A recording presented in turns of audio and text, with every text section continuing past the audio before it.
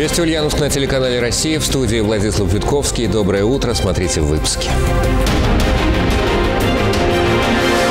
На дорогах жарко. Трасса Большие Ключищи Сенгелей. Такого масштабного ремонта здесь еще не было. Автолюбителям обещают в середине мая. Они с комфортом поедут по обновленной трассе. Дела садовые. Вопросов на самом деле много. Они связаны и с мелиорацией, и с оплатой э, воды. Всероссийский съезд Союза садоводов России прошел в Ульяновской области. И символизируют, и приближают лето. Уже много лет они работают э, безотказно, радуют наших горожан. На Свияге установили фонтаны, на майские праздники они заработают.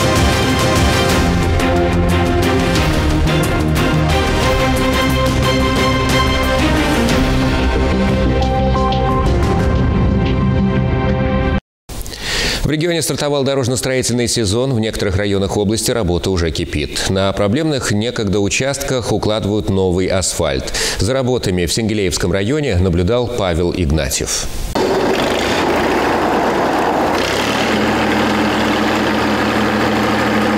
И без того узкий участок трассы сократился до одной полосы. Проезжая часть уже отфрезерована. Дорожники приступают к следующему этапу. Трасса Большие Ключищи Сенгелей. Такого масштабного ремонта здесь еще не было. Дорогу расширяют и приводят ко всем стандартам. Согласно ГОСТу, дорожное полотно станет 8-метровым. Взамен нынешним, скромным даже по региональным меркам 7 метрам. Участок общей протяженностью в 3 километра. Начали ремонтировать, как только трасса заметно подсохла. Проводится вскрытие обочин, досыпается также по технологии определенное количество песка, щебенки, и потом это будет закладываться двумя, двумя слоями асфальта. Проблемные участки дороги обнажаются после схода снега. По всем недочетам автовладельцы обращаются в Центр управления регионом. За текущую неделю нам поступило э, более 215 вопросов по системе э, инцидент, на которые мы своевременно пытаемся принимать меры, как-то реагировать. Как на этом участке трассы. Здесь работа кипит с утра до вечера. Все подготовительные работы уже завершены. Укладка асфальта дорожники займутся со дня на день. Опасных аварийных участков здесь больше не будет. По обновленной трассе водители поедут уже в середине мая. Павел Гнатьев, Алексей Прохоров, Вести Ульяновск, Сингелеевский район. Хорошие дороги – залог безопасности. Ситуации с ДТП и другими чрезвычайными происшествиями последних дней обсудили накануне в региональной администрации на аппаратном совещании. Были приняты и кадровые решения. Подробнее Игорь Кранцев. Еще пару дней назад здесь, на центральной площади Ульяновска, стартовали и финишировали участники 77-й легкоатлетической эстафеты. Алексей Русских, который был среди участников забегов, назвал эстафету важной традицией, но дал поручение рассмотреть возможность переноса маршрута эстафеты таким образом, чтобы меньше были задействованы центральные улицы Ульяновска. И эстафета далеко не единственная и, пожалуй, не самое главное, на что обратил внимание глава региона. Начал же совещание в Рио губернатора с информацией о состоянии детей. Мальчика из железнодорожного района, на него в выходные упало старое дерево, и девочки, которую 20 апреля сбил автомобиль в Засвияжье. Сейчас врачи борются за ее жизнь. Я ситуацию эту держу на контроле. Каждый день у меня по несколько докладов от главврача. Вчера я посетил. Вы знаете, что э, мальчик пострадал. Вчера, вот, когда я был, кстати, э, в больнице, я, я встретился с родителями, бабушка, дедушка этого молодого мальчика. Шли, гуляли. Он отстал, оборачивается, он лежит под деревом. Тяжелейшая травма. Вчера ему сделали операцию, но операция со слов главврача прошла успешно. Алексей Русских дал поручение изучить ситуацию с ростом ДТП, вспомнив и об утреннем резонансном случае с упавшей маршруткой в Засвияжье и пострадавшими людьми, а также поручил навести порядок с деревьями в жилых микрорайонах, дабы не повторялись подобные ЧП. Затронули и тему лесных пожаров. За нынешнюю весну уже произошло 20 возгораний по вине населения и два по вине лесозаготовителей. Согласно данного режима у нас присутствует запрет запрет на разведение костров на территории Государственного лесного фонда, посещение Государственного лесного фонда и также в отношении лесозаготовителей у нас э, на сегодняшний день введен запрет на сжигание порубочных остатков.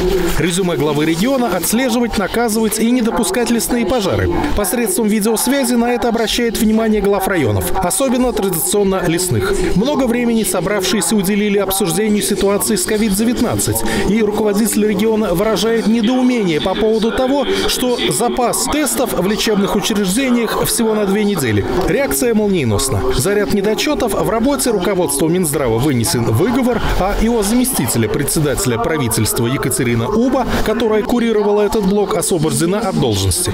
Больше тестирования, больше выявления, больше бы лечить начинали, меньше бы там, бегали, заражали других.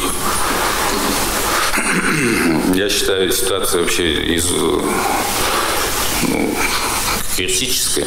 Так, Екатерина Владимировна, я думаю, что, э, не думаю, я освобождаю вас от обязанностей замещаемой должности так кадрам подготовить соответствующие документы.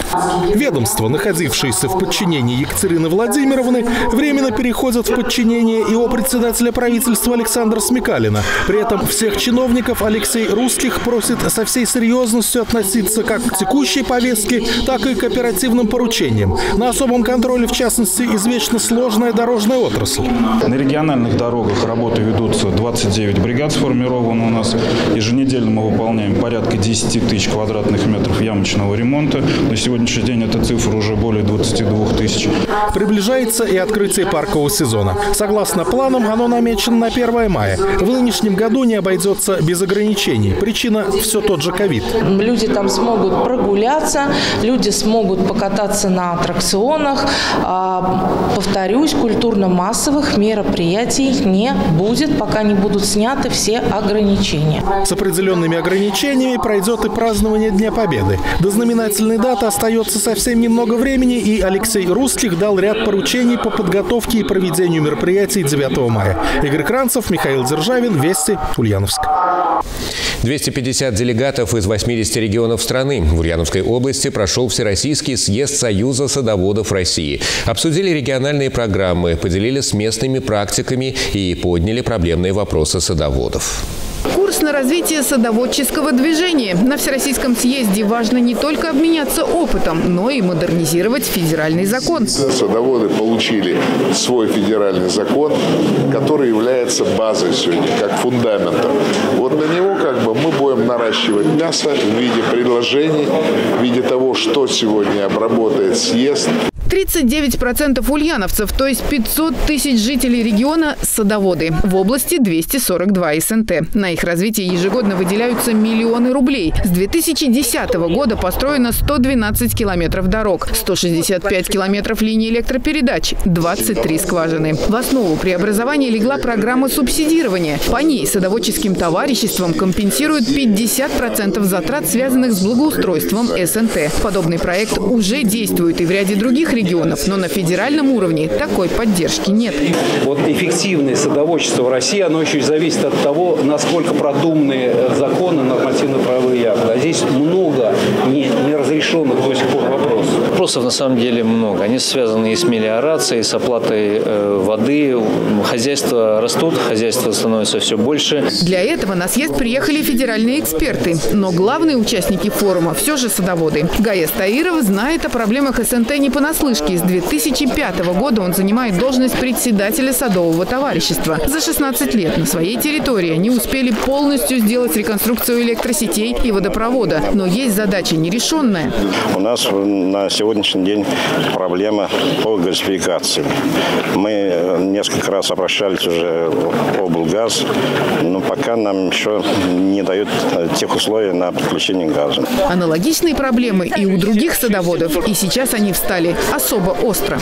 Начала активно включаться молодежь. Молодежь приезжает, э, скупает, скажем так, участки садовые, те, которые были ранее заброшены. Активно их приводит в соответствие, строит э, определенные дачные домики. Я бы уже даже сказал, наверное, дома для круглогодичных личного проживания. За 2020 садоводы произвели 22 тысячи тонн продукции. Для реализации излишек создаются новые программы. Например, облпотребсоюз закупает транспорт для скупки на садовых участках овощей и фруктов. Мы с вами должны улучшить жизнь людей, сделать ее наиболее благоприятной. Садоводы определили приоритеты. Первое – комплексное решение социально-экономического развития садоводческих объединений России. Второе – разработать целевые программы по поддержке СНТ и поддержать образовательные проекты. Елена Тимонина, Марина Тимофеева, Алексей Прохоров. Вести Ульяновск из Чердаклинского района. На Свияге установили фонтаны. Всего их шесть. Два напротив университетской набережной, еще три в районе речных островов и последний возле пешеходного моста на улице Облукова. Глубина реки здесь небольшая, около двух метров, а вот высота водяного столба у фонтанов достигает 30 метров. Обеспечивается это нехитрым устройством. Насосы, которые качают воду, и форсунки. Из них-то и вылетает струя под давлением. Все сделано руками специалистов Ульяновск водоканала. Работают все шесть надежно. Уже много лет они работают э, безотказно, радуют наших горожан. И надеюсь, что и предстоящий летний сезон также будут радовать наших горожан. Один раз в неделю фонтаны отключают на профилактическое обслуживание. Подводную часть водолаза очищают от ила, верхней занимаются энергетики. Чтобы добираться до середины реки, специально приобрели лодку с мотором. С помощью нее, кстати, и отбуксировали все фонтаны до места, где закрепили их якорями. Открытие сезона фонтанов запланировано на майские праздники. Садом памяти объявлен 2021 год. Аллею из елок уже высадили на территории шестой школы в память о героях Великой Отечественной войны. Всего в России будет высажено 27 миллионов деревьев по количеству советских граждан, погибших в военные годы. На территории Ульяновской области посадят 125 тысяч. Именно столько ульяновцев не вернулось с войны домой. Данная акция, так же, как и в прошлом году, пройдет э, в онлайн-формате. Каждый житель э, города Ульяновска и Ульяновской области э, может высадить дерево на своем приусадебном участке и зарегистрировать его на сайте э, акции «Сад памяти». Деревья будут высажены на пришкольных участках, в скверах и парках. Кто будет за ними ухаживать, обсудили на оргкомитете Победы по празднованию 76-й годовщины. В школах, техникумах, вузах будут организованы зеленые отряды. Северную волну готовят к открытию. Бассейн на базе Ульяновского государственного технического университета на днях оценили чиновники. Уже известно, ежедневно прийти поплавать смогут сюда более 500 человек. Об оздоровительном комплексе подробнее Марина Тимофеева. Шесть дорожек, длина каждой 25 метров. Северная волна строилась с 2019 года. Сегодня физкультурно-оздоровительный комплекс готов к открытию. Остаются организационные работы. К нам должны прийти наши новые сотрудники, медицинские сотрудники, тренеры, для того, чтобы в нашем физкультурно-оздоровительном комплексе было можно плавать и безопасно, и эффективно. Сам комплекс построен по проекту «Детский спорт». Заниматься смогут в нем до 7 тысяч человек, как взрослые, так и дети. Хороший объект э, направлен на укрепление здоровья учащихся, на э, поддержание духа соревнований. Мы в этом году пяти субъектов Российской Федерации открываем такие бассейны. Бассейн оснащен оптимальной технологией водоподготовки, альтернативная технология очистки воды, многослойная фильтрация. Все это позволяет создать комфортную и безопасную среду для посетителей спортивного комплекса. Здесь же для удобства предусмотрены умные браслеты. Все функционирует. Закрыли? Отлично. Спортивный объект для гостей распахнет свои двери уже в мае этого года. В бассейне планируется проводить для студентов занятия физкультуры, тренировки сборной вуза, а в оставшееся время его смогут посещать жители областного центра. Также на цокольном этаже разместится лыжная база. Замечательный объект, мне очень понравился. Новейшие технологии используются здесь. Э, помимо того, что студенты будут здесь бесплатно заниматься, он э, будет являться народным. То есть э, все местные жители, которые живут, и любой житель города может приехать, взять абонемент. Мы стараемся, чтобы были так называемые во всех бассейнах социальные часы. И для клубов активного долголетия, и для молодых ребятишек. В Ульяновской области к открытию готовятся пять бассейнов. Два в областном центре, один в Ишевке, другой в Индинском районе и пятый в Кузоватовском. Марина Тимофеева, Вести, Ульяновск. Ансамбль народного танца «Волга» готовит зрителям сольный концерт. С новой программой они выступят в Международный день танца. О классических заготовках Марина Тимофеева.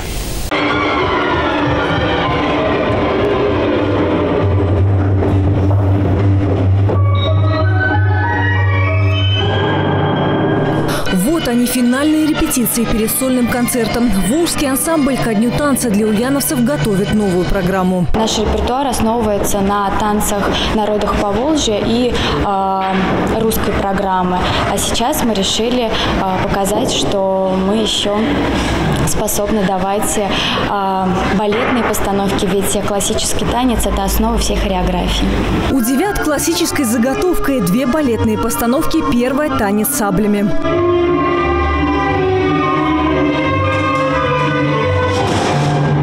Отрывок известного музыкального произведения Арама Хачатуряна из балета ГНС сменится классической постановкой Маргариты Январевой «Посвящение». Всего в программе 25 номеров, среди них и те, что давно полюбились зрителям.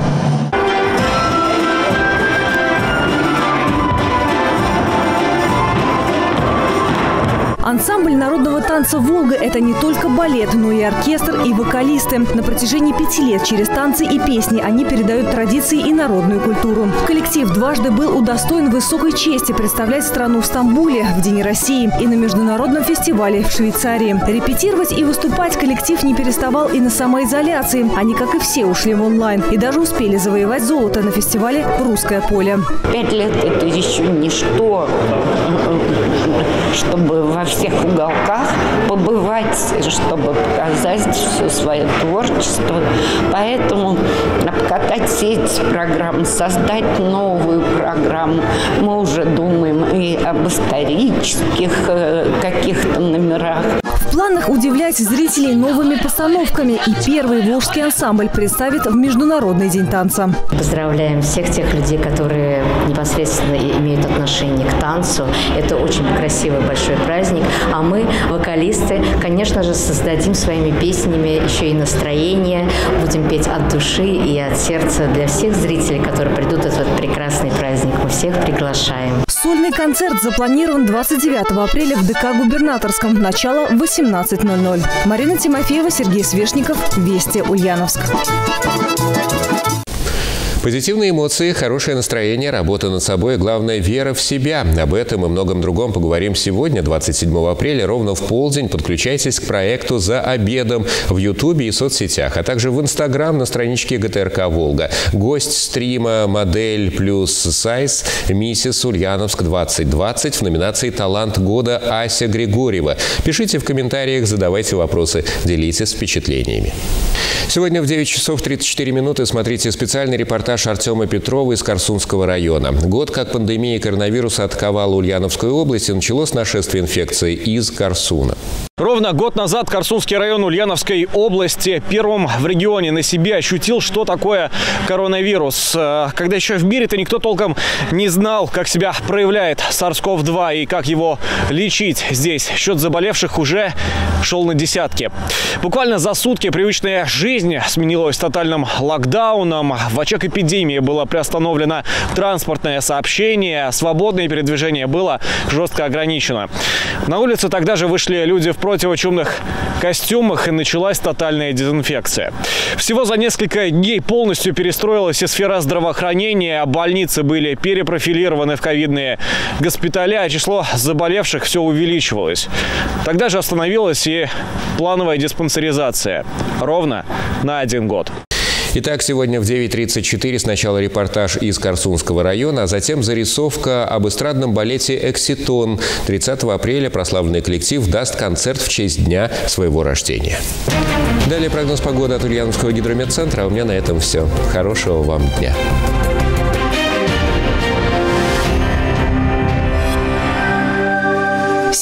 Ульяновской области ожидается переменная облачность, кратковременный дождь. Атмосферное давление существенно не изменится. Ветер юго-западный умеренный. Температура воздуха днем по области плюс 10-15. В Ульяновске 11-13 градусов тепла.